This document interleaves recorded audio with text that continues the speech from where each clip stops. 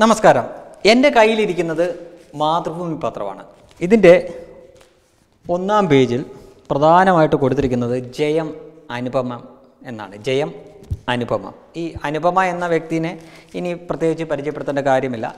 ഇതേപോലെ തന്നെ സമാനമായിട്ടുള്ള വാചകങ്ങളാണ് ഇവിടുത്തെ ഒട്ടുമിക്ക പത്രങ്ങളിലും കൊടുത്തിരിക്കുന്നത്. അനുപമ ജയിച്ചു അമ്മ ജയിച്ചു ഒടുവിൽ ജയം അനുപമയ്ക്ക് ജയം ജയം ജയം ഇത് തന്നെ. ഈ പത്രങ്ങളോട് സകലമാന മാമ മാധ്യമങ്ങളോടും ലളിതമായിട്ടൊന്ന് ചോദിച്ചോട്ടെ.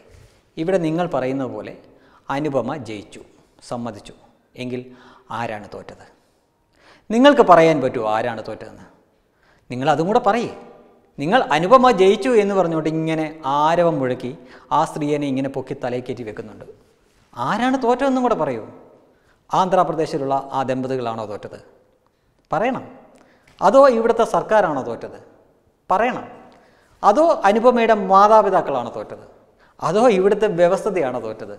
അതോ ആരാണ് തോറ്റത്? ഞങ്ങൾ ജനങ്ങളാണ് തോറ്റത്.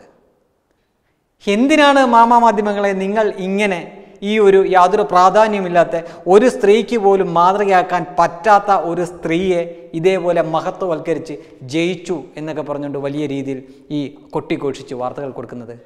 എങ്കിൽ പറഞ്ഞു തരണം ആരാണ് തോറ്റതെന്നും കൂടെ പറഞ്ഞു തരണം. നിങ്ങൾക്കതിനാവില്ല.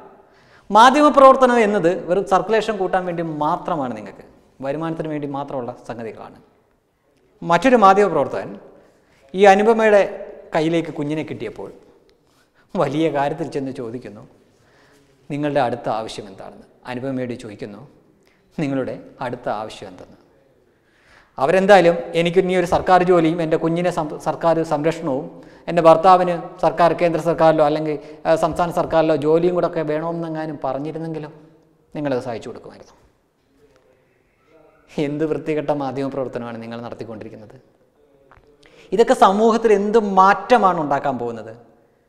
ആ അനുപമ എന്ന് പറഞ്ഞ വ്യക്തി തന്നെ പറയുന്നു ഒരു ചാനലിന്റെ പേരെടുത്ത് ആ ചാനലാണ് എന്നോട് എന്റെ കൂടെ ആദ്യം തൊട്ട് ഇപ്പോൾ വരെ നിന്ന്. അവരെന്തോ വലിയ കാര്യം ഈ സമൂഹത്തിന് വേണ്ടി ചെയ്തു എന്ന രീതിയിൽ അത് തന്നെ ഇങ്ങനെ പരസ്യമായിട്ട് പറഞ്ഞുകൊണ്ടിരിക്കുന്നു. അനുപമയ്ക്ക് നീതി വാങ്ങിക്കൊടുത്തത് ഞങ്ങളാണ്. അനുപമയ്ക്ക് അനുപമയ്ക്ക് എന്ത് നീതിയാണ് നിങ്ങൾ വാങ്ങിക്കൊടുത്തത്?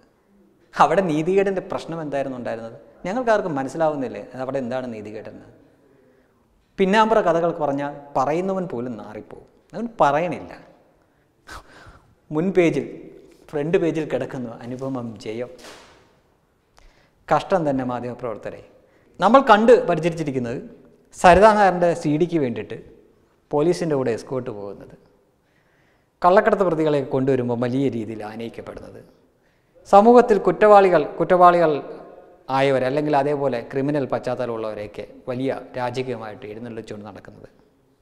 മനസ്സിലാവുന്നില്ല സാർ എന്താണ് ഈ ശരിക്കും മാധ്യമപ്രവർത്തനം എന്ന്. നിങ്ങൾ ഈ ചെയ്യുന്നതല്ല മാധ്യമപ്രവർത്തനം എന്ന് സാമാന്യ ബുദ്ധി കൊണ്ട് മനസ്സിലാക്കാൻ പറ്റുന്നുണ്ട്. പക്ഷേ നിങ്ങളുടെ ഈ പ്രവൃത്തിയും ഓരോ ദിവസവും നിങ്ങൾ ഈ കാണിക്കുന്ന ഓരോ കോപ്രായങ്ങളും കാണുമ്പോൾ ശരിക്കും സംശയം ഉണ്ടാവുകയാണ്. എന്താണ് മാധ്യമപ്രവർത്തനം എന്ന്?